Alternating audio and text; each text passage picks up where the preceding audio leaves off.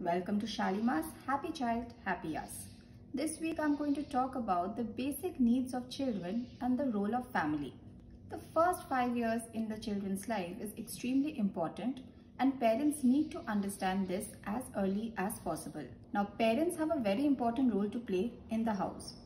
There are certain methods which they can use. First, they should create device-free zones in the house, especially during family times. They should take the children outside and expose them more to the outside environment rather than engrossing them in various gadgets. Strong parent-child bonds, good nutrition, adequate sleep, routines, safe and nurturing environment will help the child to develop adequately. If you have any questions, please write down in the comment section below or DM me on Mera Pyar Shalimar. Thank you so much.